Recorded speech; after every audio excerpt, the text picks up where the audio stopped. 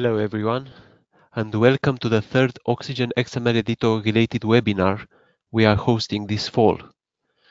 This webinar is dedicated to DITA publishing, publishing to modern online help and to PDF.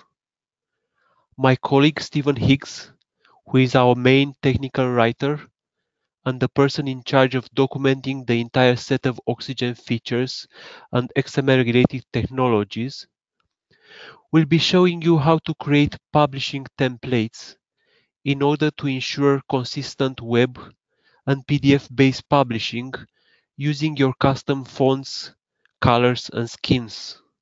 Uh, but before we begin, this webinar will be recorded, so uh, if you cannot attend it, you will find the recording online on our event page and uh, you know, in a couple of weeks, you'll have it on our Oxygen XML YouTube channel. I have a couple of colleagues here from uh, our web help development team who will answer any questions you may have. Uh, so we have a questions panel in the go to webinar interface, which you can use to ask us questions. If we do not manage to answer a question, we will try to contact you after the webinar. Oh, you can also ask us questions on Twitter, uh, and we, we, may answer uh, either during the webinar or um, after the webinar. At the end of Steven's presentations, we'll have a questions panel in which we'll discuss some of your ideas or uh, some of the things that you wanted to find out more about. Uh, so, hello, Steven. Hello, Radu. Hello, uh, are you ready to start the presentation? Yes. I will make you the presenter and uh, good luck. Thank and you. Everybody enjoy. Hello, everyone. Thank you for attending. So in this webinar, I will be showing you details about the publishing templates feature used in DITA Web Help and PDF transformations, how to create your own templates, and some specific use cases for customizing various aspects of the output. The agenda for today, as an introduction, I'll explain what an Oxygen publishing template is, and I'll introduce you to the built-in templates. I'll discuss what is in a template package. I'll show you how to create your own custom template and we'll explore various use cases for customizing the output. So what is an Oxygen publishing template? It is used to define the layout and style for DITA-based web help or PDF output. It is defined using a self-contained customization package stored as a zip archive or folder that can easily be shared with others. And each template package contains a descriptor file, has an OPT file extension, and various resources that define various aspects of the output. Now, of course, you can customize the output using various methods without using a template, but the possible benefits of using a publishing template package include you can use any of the existing built-in templates as a starting point for customizations. The customized template packages are easily shared with others. Custom template packages remain intact even when you upgrade Oxygen to a new version. A template can be easily integrated into a continuous integration publishing system and the same template package can contain both a web help and PDF customization, and you can reuse some of the resources. So some of the customization methods include you can add additional template resources to customize the output, such as logos, favicons, CSS files. You can extend the default processing using XSLT extensions or HTML fragment extensions. You can use transformation parameters. For web help output, you can customize which components will be displayed and where they're positioned in the page. For PDF output, you can customize various aspects with simple CSS styling. And the customization possibilities are virtually limitless, and I'll be showing you some examples of some of these possibilities using some of these various methods. So now I'll introduce you to the built-in templates. Currently, there are three transformation scenarios that include the templates feature, the two DITAmap Web Help responsive transformations, and the DITAmap PDF transformation based on HTML5 and CSS. And note that in version 21, which will be released next spring, we will add the publishing templates feature to another PDF transformation. So now I'll go to Oxygen and I'll edit a Web Help responsive transformation to show you the built-in templates. So in this first templates tab, you see all the existing templates. And at the top, there are various tags that you can use to filter the templates. There are two primary layout types, tiles, tree, and various other tags, mostly color schemes. And you can add your own tags to make it easier to find your custom templates, and I'll show you how that's done in a few minutes. If I hover over a template, it'll show me more details, including the location of the descriptor file. And if I click on this icon in the bottom left, it'll show me an online preview of what the main page for that template will look like.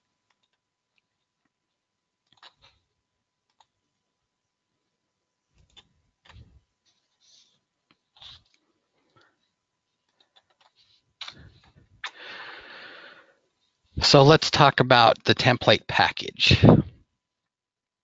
So each publishing template is a package that contains a descriptor file and various resources.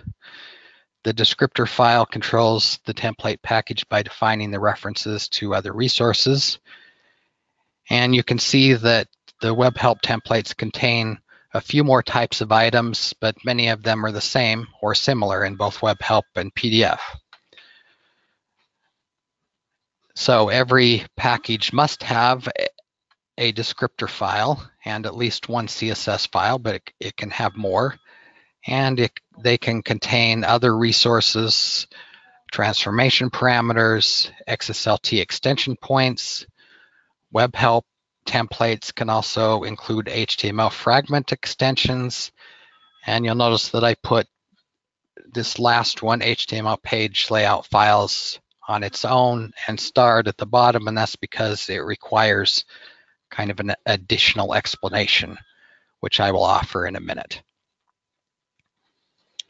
Now I'll show you how to create a new custom template, and the easiest way to do so is using an existing template to use as a starting point. Now, just for your information, for this webinar, I've created a sample project about space exploration, and I've already included a bunch of resources that I'll use in my customizations. For example, in this IMG folder, I have all the images that are referenced in the individual topics, but I also have some custom images like this custom logo. I have a background image, and various other images that I'll use in my customizations. So I'll get started by, again, editing a Web Help responsive transformation. And I'll choose an existing template, and I'll click on Save Template As. And this is how you create a new template starting from an existing one. At the top, you see that I can give it a name and a description. This next section just shows the parameters from the existing template that will be copied to the new template package. And there's this option down here, include HTML page layout files. And this is where I'll explain this concept. So in our user guide, There's a topic that explains the template package contents. This one's for the Web Help responsive customizations. And in this topic, there's a section for HTML page layout files. And basically, they define the default layout of the generated pages for each template, and there are four types of pages. The main page, the topic page, the search results page, and the index terms page. Now, before the introduction of the publishing templates feature, customizing these four HTML page layout files was the primary way of configuring the layout of the four types of pages for a particular template. Each of the page types have various components.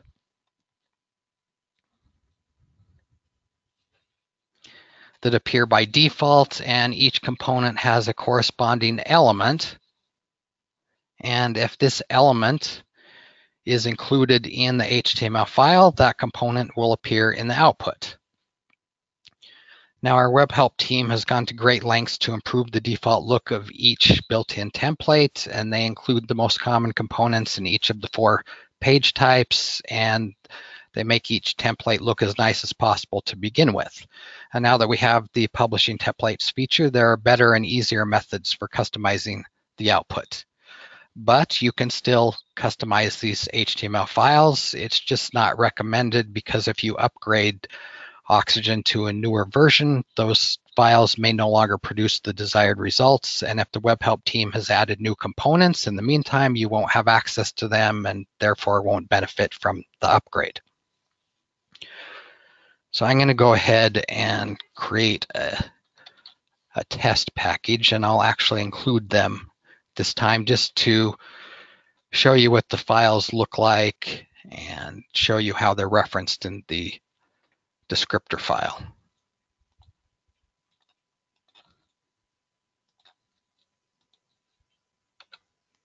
So I'll refresh my project and you see that it created this zip file. If I open the zip file, you see that it copied this page templates folder. And here are the four HTML files. This first one is the main page. And you see that it contains various elements that are that define the components that will appear in that page type. And if I open the descriptor file, this is how those four pages are referenced in the descriptor file.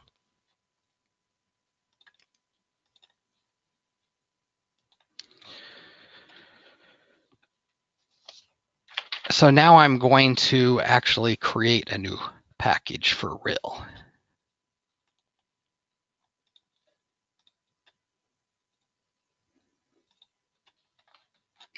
And I'm going to choose a very basic existing template that has the style I want as a starting point.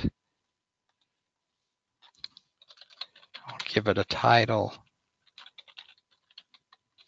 Script, the description is optional. And I won't include the layout files this time.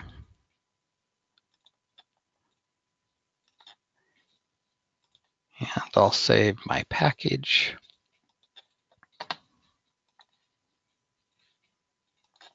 Again, I'll refresh my project. And notice that every time it saves the template as, or it's packaged into a zip archive. And since I want to modify some of its files, I need to unzip it into my project folder.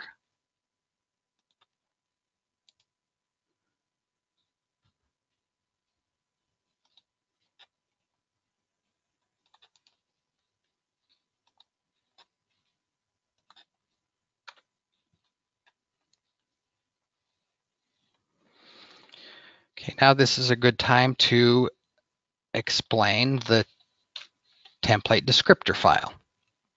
The descriptor file contains elements that define the template package. And each descriptor file requires a name, at least one CSS file, and a web help and or PDF element. And then there's a variety of optional elements that can be included. We go back to our user guide topic, you see that all of these possible elements are described here and it shows you how to define them in the descriptor file. So in my case, I'm going to open the descriptor file that was saved when I created the new template. And I'm going to make some small adjustments. For example, I want to use my own preview image. And notice that it supports content completion. And I'll make a small change to one of the tags and I'm not going to include this online preview URL element because I didn't create one ahead of time. Okay, so I've made some small adjustments and now I'll save it, save it and I'll transform it just to see what it looks like as a starting point for my custom template. However, at this point, I can't see my template, and that's because I need to instruct Oxygen where to look for it. So in the bottom right-hand corner, there's this Configure Publishing Templates gallery. And I just need to add my directory where I have my custom templates. And when I click OK, I see my template is the first one listed. And you also see the, the test one, and that's because it looks for descriptor files in either folders or zip files, zip archives. So I'll select my template and transform it just to see what it looks like as a starting point.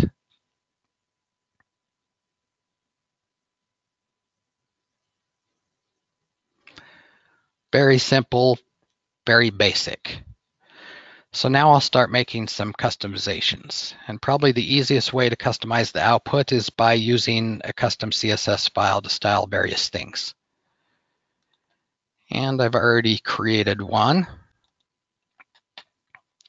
And in my custom CSS, you see that I've imported some Google fonts and I've added some rules for fonts, colors, sizes and whatnot for things such as the publication title, the top menu, the tiles, and various other styling rules. So now I need to go back to the descriptor file and reference my custom CSS file. And notice I'm not going to replace the one that was saved with the package. I'm just going to add a, my new CSS file and so it will be combined with the existing one.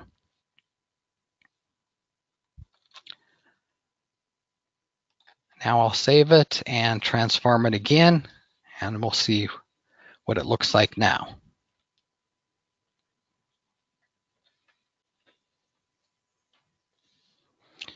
And you can see that there's some small changes.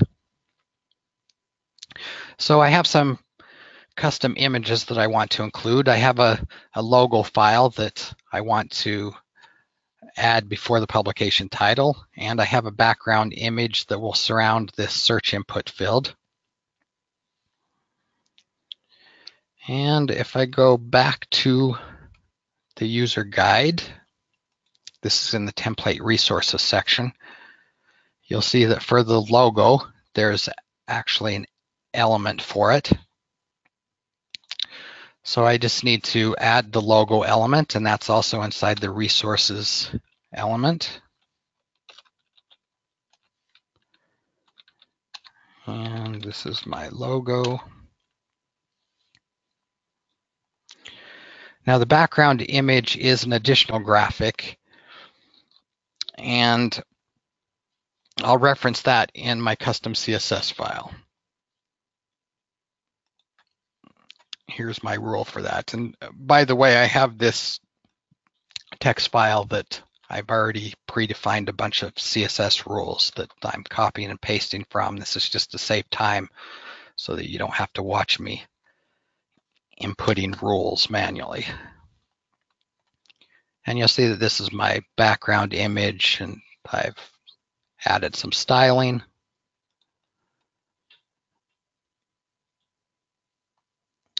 And now I need to instruct the transformation to copy the additional image to the output folder. Otherwise, it won't be available in the output.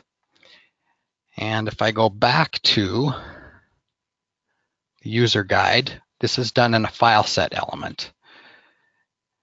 It says here that you can specify one or more sets of additional resources that will be copied to the output folder during the transformation process. It can be specified with the file set element and you can use one or more include or exclude elements.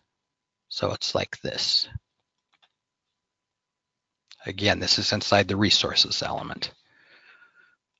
So I'll add a file set element.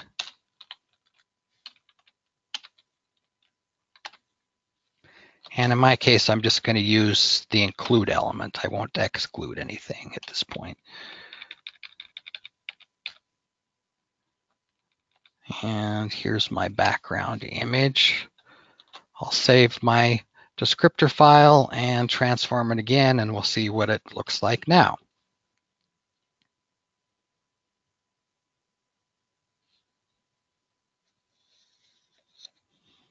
And you see that I have my logo, my background image, it's starting to look better. So now I want to show you some more types of customization using other methods, and these were inspired by actual customer requests. Also, this is a good time to point out that we have a sample project on GitHub, and here it is. It uh, includes some sample templates and customization examples. One of them is for generating the time in a custom footer, and I'll actually try this example in my custom template. This particular customization is an example of an XSLT extension. So it requires this XSL file that has the code for it. And in my project, I've already added this file. And if I go back to that topic, you'll see that there is a section for XSLT extensions, and you'll see that it's defined a structure like this. So going back to that sample, I'm going to open the descriptor file in this example, and I'm just going to copy that whole XSLT element structure from there and paste it into my descriptor file. And there's also a required parameter.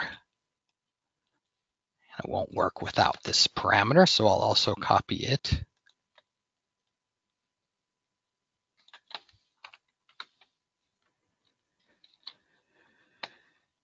And I'll save it. And once again, transform it.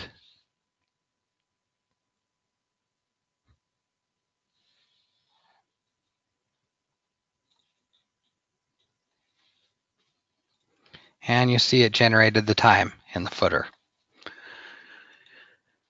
In this sample project, there's also an example for adding copyright information in a custom footer, and this one is done with HTML fragment extensions and or an extension and with a macro. If I go back to the user guide topic, you see that there's a section for the HTML fragment extensions. And there are 13 predefined placeholders. And these can be used for the custom HTML fragments. And you simply use the corresponding placeholder. It's a parameter value. And you reference the well, you can reference an XHTML file or fragment. And there's also a section for macros. And you see there's a variety of supported macros. This localization one is probably the most popular one. But in my case, I'm going to use this map XPath expression. If I go back to my project and open the DITA map, you'll see that I have some copyright information in the topic meta element, year and organization, basically. And in my project, I've already created an XML file for this. And you'll notice that in my XML file, I have the XHTML fragment and the macro. And here's my map XPath macro. Basically, it's going to insert the fragment. And then for the copyright information, it's going to extract the year from this path and the organization from this path.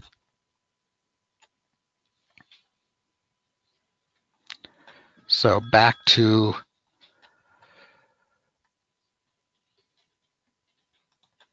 the user guide, this is how it shows this is how you reference HTML fragments. It's inside an HTML fragments element and each one has a fragment element and you'd reference the file and the placeholder. And in my case, it's going to be number 12. This is for the footer. So I'm going to use the corresponding value for that placeholder. And in my descriptor file, I will add an HTML fragments element. And for the file, I'll reference that footer.xml file. And for the placeholder, I'll paste the value that I just copied to the clipboard. Again, I'll save it and transform it, see how this looks.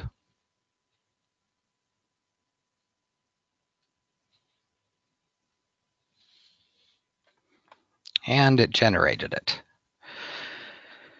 Now I want to style it to make it stand out a little more, and I'll show you how to use the Browser's Inspector tool to identify the selector used in the output. So I'll inspect this footer, and this particular element is already highlighted and the class is copyright underscore info.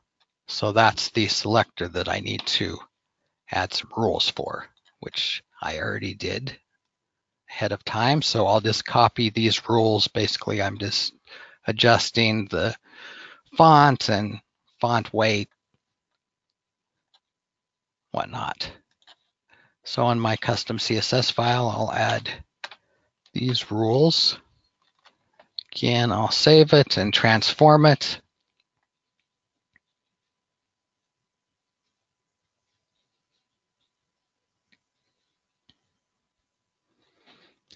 And you see that it definitely stands out now. Now I'll show you another customization, and this is based on a very recent user request. And the home page of our user manuals, you'll notice that we have this stripe that has video tutorials embedded. And this particular user wanted to know how they could add such a thing in their output. And this can also be achieved with an HTML fragment. And again, I've already created an XML file for this. And in this case, I'm going to show you what I did to, to determine the content of this file. Because when I started the XML file, only had this namespace line. So back in the output, I'm going to inspect that stripe and see it's this element that's the entire stripe. So if I right click on that element, copy, copy element, then I just pasted it into my file. I'll actually paste it so you can see that there actually is content and it's similar. I'll revert. So I pasted the content here and then I adjusted it according to my specific project. And I also created three new images. These act as thumbnails for the videos that will that you will see in that stripe.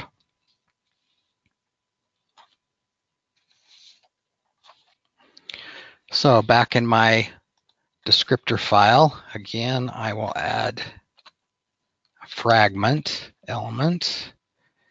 In this case, it's this XML file, and I'll go back to the user guide to determine the placeholder. And in this case, you see that it's number 10 above the tiles. So it's going to be this value. And I'll paste that in my descriptor file. I'll save it. And ahead of time, I also identified some styling rules to make it look better. So I'll add those to my custom CSS. Save it. And we'll transform it again.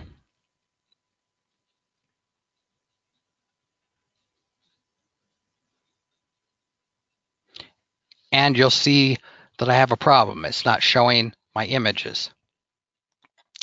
That's because I have to, again, instruct the transformation to include those images in the output. So I need to include them.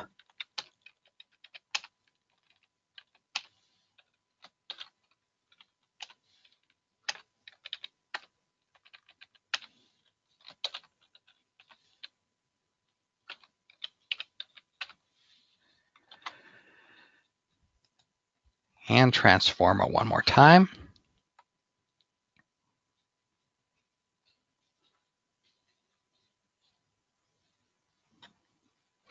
And it looks nice.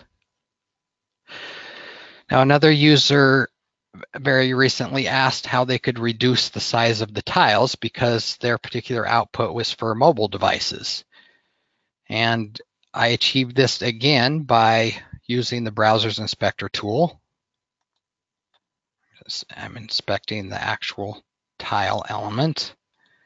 And I'm I started looking in the associated CSS files and I played around with it until I found that this width property adjusted it. There's uh, other various ways to do this as well, but this was very simple way. So I just tested it until I found a percentage that I liked and so I know that in this WH underscore tile class, I need to add this particular rule. Very simple CSS rule. And again, I'll save, transform it,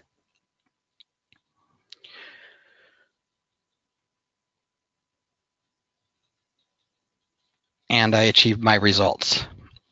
Now remember that one of the benefits of the publishing templates is that they can contain both web help and PDF customizations, and you can reuse some of the resources. This was made possible by the introduction of a CSS-based processing engine that is built in for a type of transformation.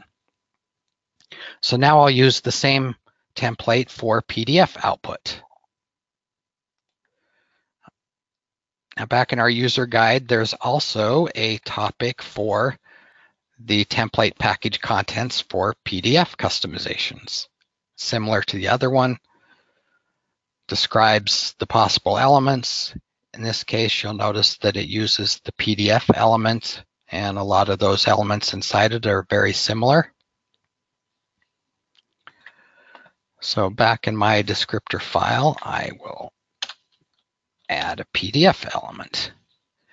And I'm going to reuse some of the, the same resources, same elements. For example, the preview image file, I want to use the same one.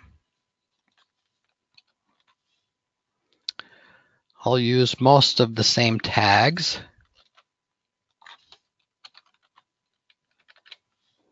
Not this first one, because in PDF you don't have tiles.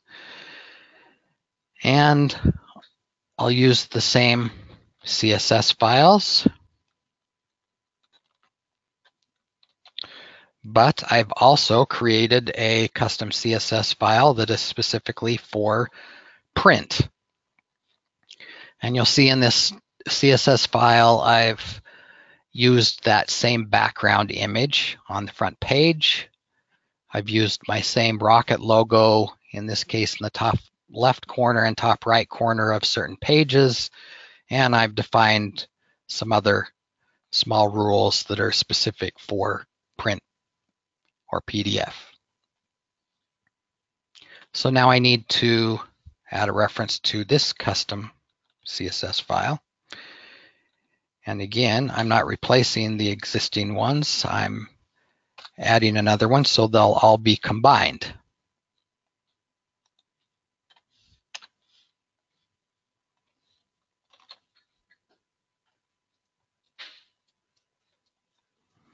Okay, so now I'll transform it using a PDF transformation. It's this one. And because my descriptor file has that PDF element, you see that my custom template is listed in this templates tab for this type of transformation. And I'll select it transform it.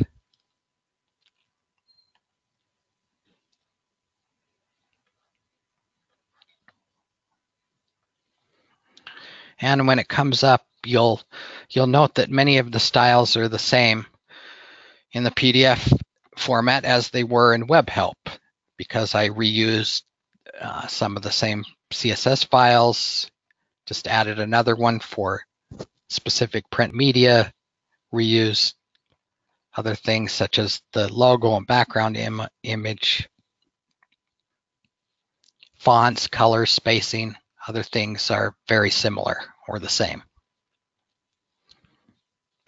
So now I'll add some more PDF customizations. And again, these are based upon specific use cases requested by users. For example, I have a table in this topic, and you'll notice that there's a problem. I have a fictitious name of an API and it's too long, so it bleeds off the page. And this wasn't a problem in the web help output because the tables have, the tables are responsive, but it is a problem in the PDF output. So this is a good time to point out that in the user guide, there is a section called customization CSS. And this section contains a large amount of topics that explain how to achieve all sorts of specific PDF customizations. And our PDF output team is constantly adding more topics to this section. And there's one for hyphenation. That's what I need for my table. And you see that there's a procedure for how to enable or disable hyphenation for tables. And I've already set the XML lang attribute on my root map. So I just need to add this simple rule in my custom CSS.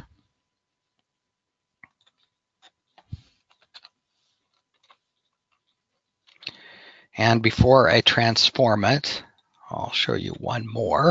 If I go to this topic,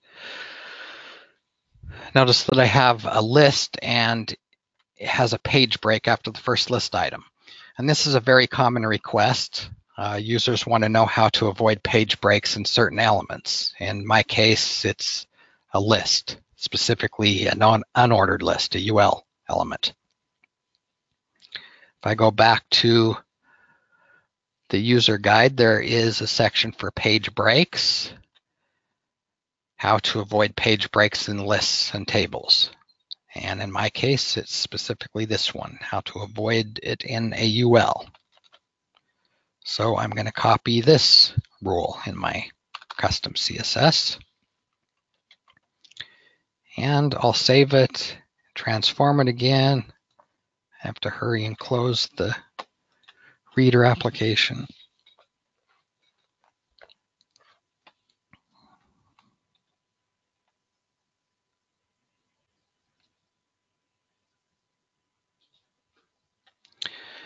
And you'll see that the table or the list problem is now solved. And my table now has hyphenation, so that problem is solved as well. Now, if I go to the index, I see another problem. I don't like the fact that the page numbers for each of the index terms is rendered on a new line.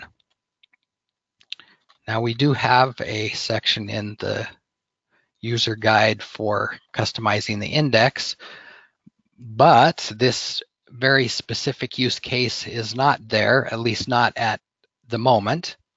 And so I'll show you how I achieved this. The first child topic in this section is called debugging the CSS.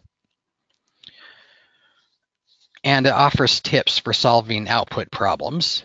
And it explains that the transformation creates a merged map file, and it can be found in the output directory. And this merged map file can be used to troubleshoot output problems, such as what I just experienced.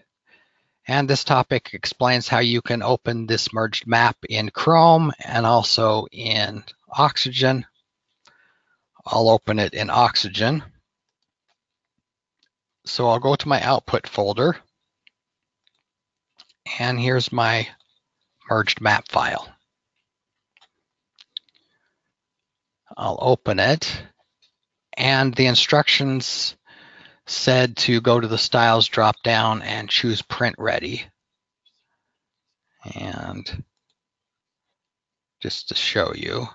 So the reason for this is it'll activate certain CSS selectors enclosed in an at media print rule. In my case, I didn't really need this, but I'm following the instructions. And then I scroll down to my index where I have the problem. I'm going to right click on one of the index terms and select inspect styles. This opens the CSS inspector in Oxygen. And to make it easier to identify the elements, I'm going to change it to full tags. So inside this element, I identify that the class is index slash formatted value. And the next one, if I go to the next element, is index slash ref ID.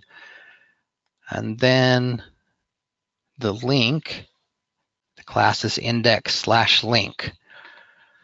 So those are the three classes that I need to define a rule to display them in line.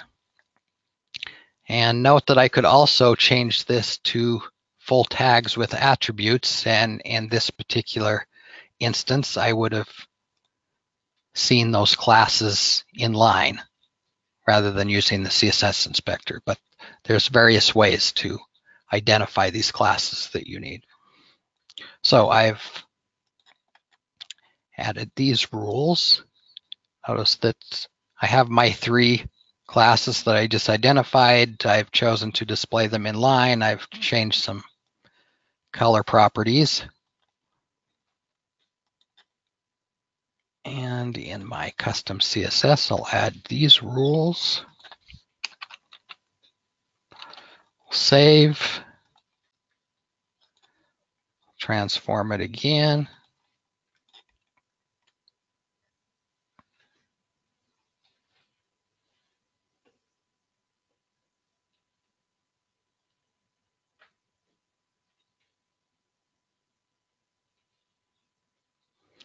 And if I go to the index, now it looks great.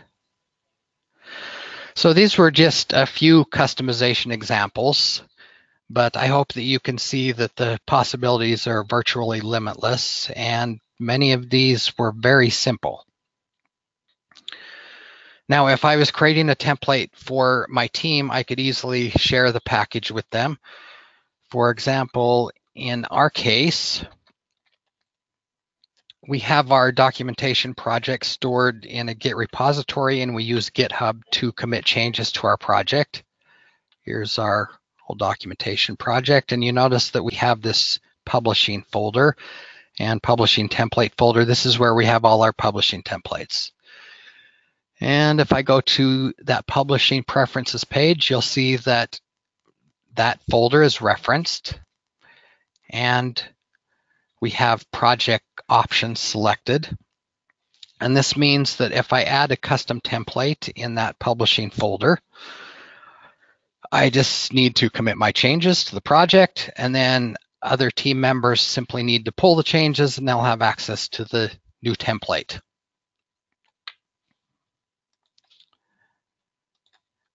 And the last thing is here are the resources, the links that I showed you during the webinar.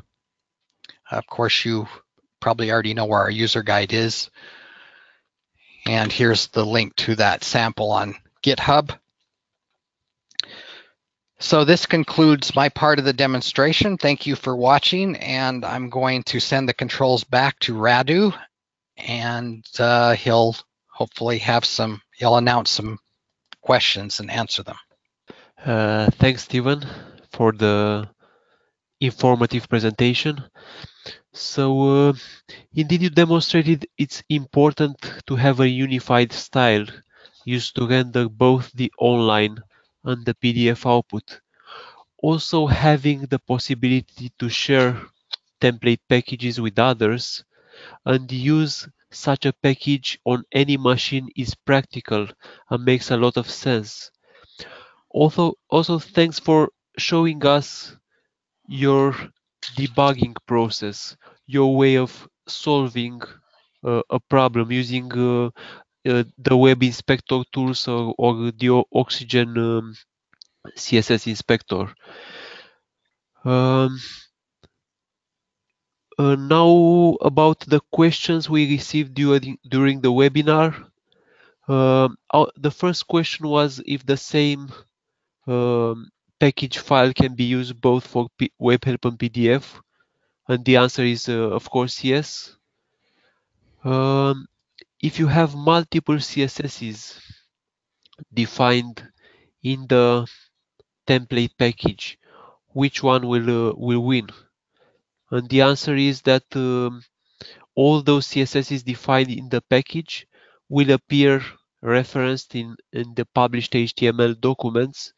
So the order of the CSS files will be the order in which they will be taken into account by the web browser, meaning usually that the, the last CSS in, uh, in the list uh, has more power to override uh, various selectors.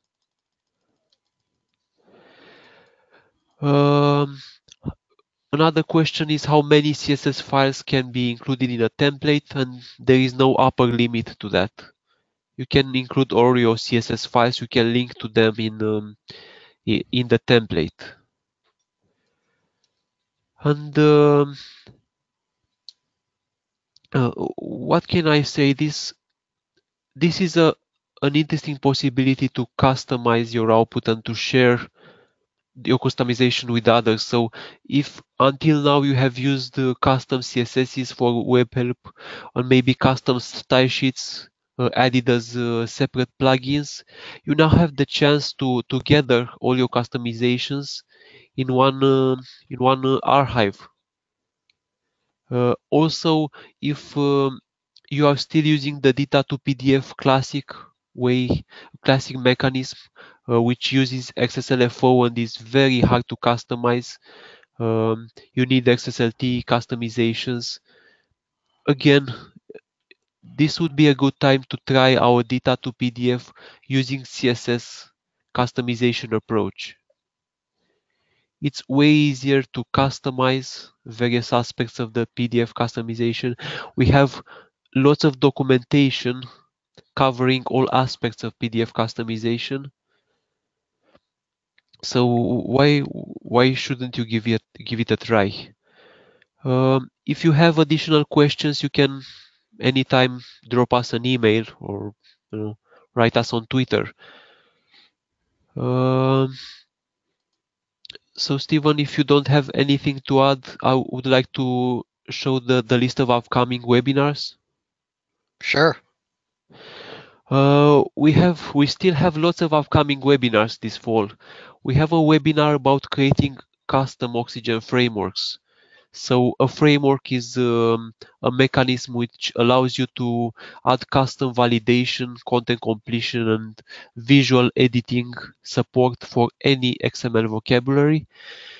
We have uh, a webinar about create, getting started with Schematron rules and Schematron quick fixes, creating your own validation rules on top of the default DITA validation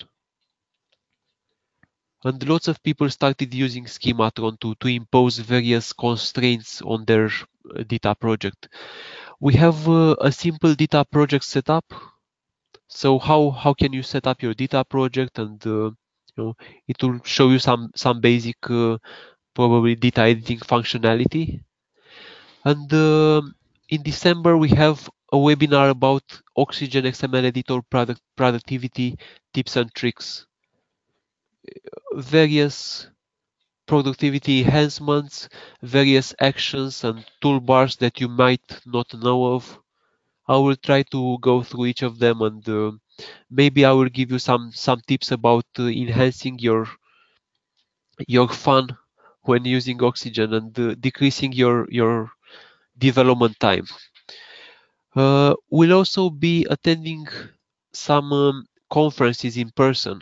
So we have the DITA Open Toolkit Day in Rotterdam on November 4th, uh, a day dedicated to, to DITA publishing using the DITA Open Toolkit uh, uh, open source software, a day sponsored by, by Oxygen.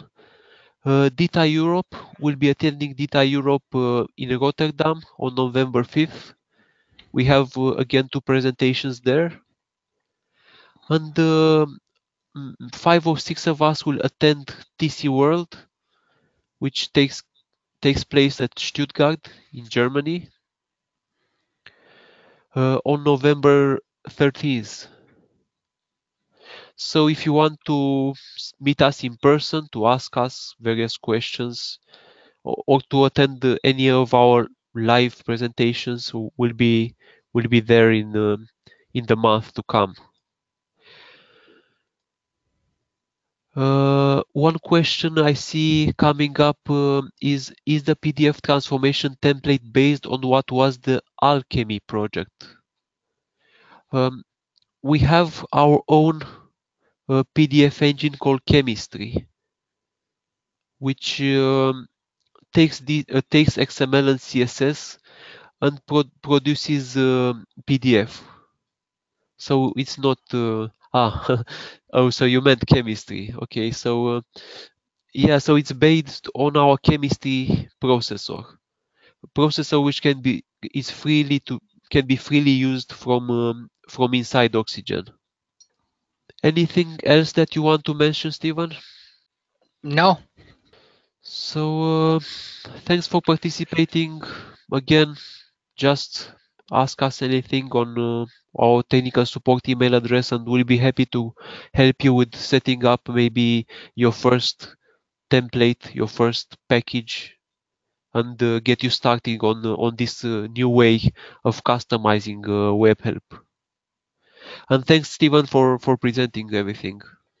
Sure, and uh, slides and that sample project will also be available from that events page in a few days, uh, along with the recording. So I suppose if somebody wants to play around with this sample that I created, they can do so.